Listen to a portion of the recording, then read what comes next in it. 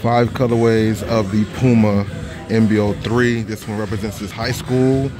Gray and Volt Green colorways, not bad. I do believe this was the first colorway that came out, and I'm not mad at it either. One of the more colorful, creative colorways. Then we have like the uh, Porsche collab, aka Bruce Lee. I think all these are definitely impressive. Chinese New Year MB.03, probably my least favorite out of this selection here. Then of course we got the Dexter's Laboratory collab. All of these are pretty interesting in their own right, but which one do you guys like the most? Of course, let me know in the comment section below.